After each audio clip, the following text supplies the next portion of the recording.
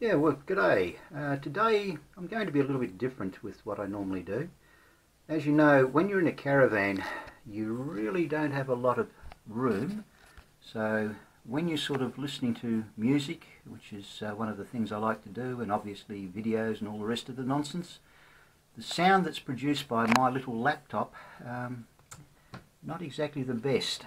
I've got, I've currently got it hooked up with a uh, HDMI cable uh, running into a little screen over here so we'll just fire this thing up and uh, you get an idea of the quality of the sound or lack of quality as the case may be.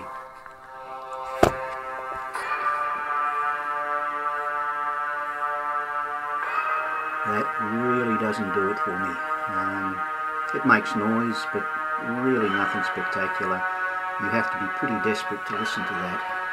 Now obviously the way to increase something like that, or the sound, is to listen through headphones. You know, big whoopee. I mean, you can you can listen to music with headphones. The quality, I've got to admit, isn't too bad for stereo. It's you know acceptable, but not really something I'd like to do. You know, especially when you have a partner who wants to listen as well.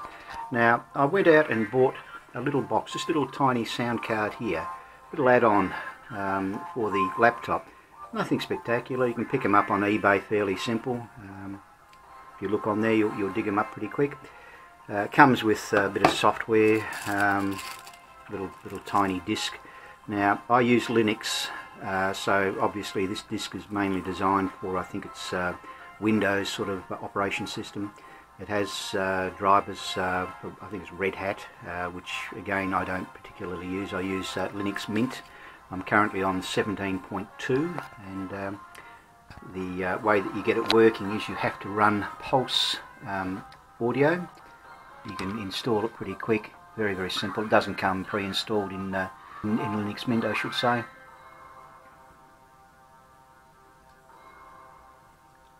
I'll stop the music for the moment. And you just, uh, at this point you just simply type in Pulse and it'll it'll pop up a heap of stuff in there. Now I'm running this one here which is the uh, pulse audio volume control and uh, by running the volume control it gives you access to uh, the actual inner workings uh, of ALSA which is the uh, wonderful little things that it runs on. Um, let's have a look up here, we can type in, because I've already installed it so we just type in pulse and there's pulse audio and it pops up um, there's your ALSA plugins, uh, output devices. Um, uh, and as you can see, we've just got speakers at the moment because I've got nothing running in the background. I've stopped it running. Um, if we fire it up, we'll get we'll get it up again. Uh, where are we? Uh, recording output advanced might help if I have that turned on. Recording. Yeah, as you can see, nothing terribly exciting happening here. Okay. Now let's come from there and we'll change it all of a sudden down to, um, oh, let's go here. Which one? That one will do. Digital out, uh, digital sound. And you can see we've got quite a bit going here. Now, of course the speakers aren't plugged in so you can't hear a darn thing. So I'll have to stop it at this and try again. Got the little audio card over here plugged in at the moment for you and we're back to this little thing here. We'll start playing again. This will still be the sound from the uh, little tinny speakers which is pretty non-existent. Now if we come down to our um, sound driver down here and uh, we change the output device uh, I should be saying and we go from that to here.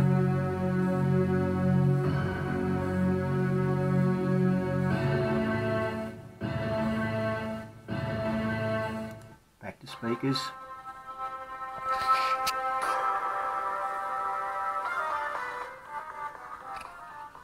and down here we go back to the surround sound.